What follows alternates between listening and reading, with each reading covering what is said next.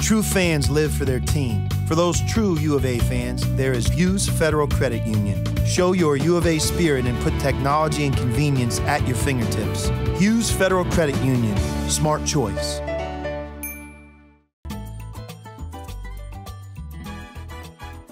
Welcome to Greg Hansen's Video Notebook brought to you by Hughes Federal Credit Union. I'm Star Sports Editor Ryan Finley here with Greg Hansen. Greg, Rich Rodriguez went ballistic in his press conference on Monday. The topic, this might surprise you Arizona's 8 p.m. start, October 31st. This is the 11th time in 16 conference game conference road games under Rich Rodriguez that they will have started at 6 p.m. or later. That means they're going to get home at 5 in the morning. By then, Greg, I mean, we'll be waiting on the tarmac to take off.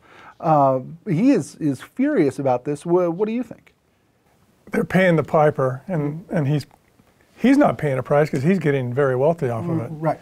The players are, I guess.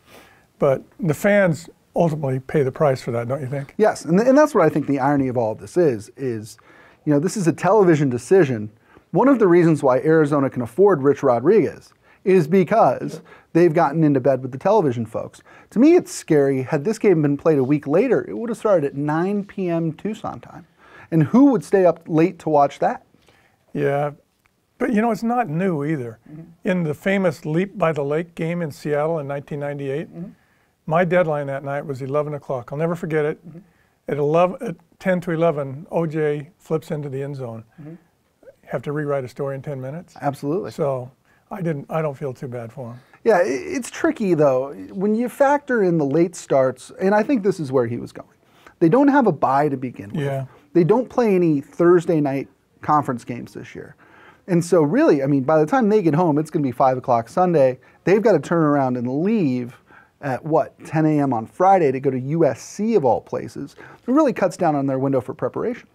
But it's the same all over the league. Mike Riley at Oregon State last year was a good soldier and publicly didn't say a word about six, seven, or later starts, mm-hmm. most of them in the cold and rain. Sure. Uh, maybe that's why he left Oregon State. Oregon State got piled on so bad last year. Mm-hmm. No one has approached that. Um, Arizona's just their turn in the whipping booth now. Sure. Uh, can I sound like a jerk for a minute? Is this a matter of win more games and you're not playing at 8 o'clock? Unless it, unless one of the networks has a prime slot at eight o'clock. Right, but they don't. I mean, you, you even look last week. You know, UCLA played Stanford at 7:30. To me, even there's a big difference between 7:30 and 8 o'clock. Right. You know, and Washington gets it really bad too because most of their fans come from the region, from Olympia, which is 100 miles away. Mm-hmm.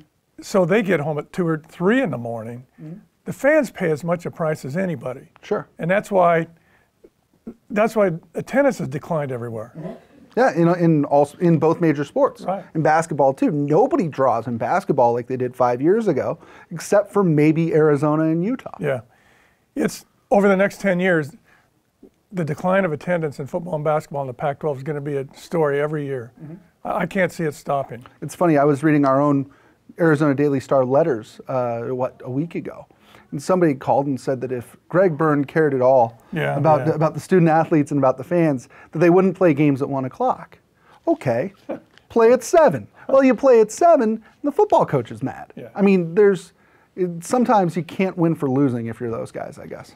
And you think this is a new problem, mm-hmm. but on another topic this week, I was looking at the 1935 U of A football, some some archives. Mm-hmm they took a train. To, they played Centenary in Shreveport, Louisiana. Of course. They left Tucson at 10 on a Thursday morning, got back at 4 Monday afternoon.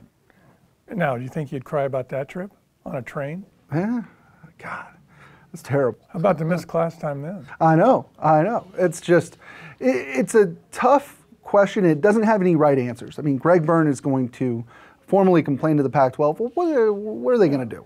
I mean, the Fox Sports pays its money Pac 12 network pays its money specifically to pick which games it wants to show. They're not going to change just because the football coach is mad. No, and you're right. The laggards in the league are going to get that last Pac 12 time slot every week. Right. You don't want to play at 11 a.m., yep. and you don't want to play at 7 because that means that somewhere somebody thinks that you're not worth watching on TV. You got to be really good to get that 5 o'clock slot yeah. when Arizona got it against UCLA. Yep. They're not good enough to get it right now. Nope. That'll do it for this episode of Greg Hansen's Video Notebook, brought to you by Hughes Federal Credit Union. For Greg Hansen, I did not know where Centenary was, by the way. Louisiana. I'm, you learn something every day. I'm Ryan Finley. We'll see you next time. True fans live for their team. They buy the gear, they order the tickets, they pay for the seats and the experiences. For those true U of A fans, thankfully there is Hughes Federal Credit Union, offering the latest payment choices such as U of A debit cards, paying online, paying a friend with Popmoney, or using Apple Pay with your mobile phone. Show your U of A spirit and put technology and convenience at your fingertips. Hughes Federal Credit Union, smart choice.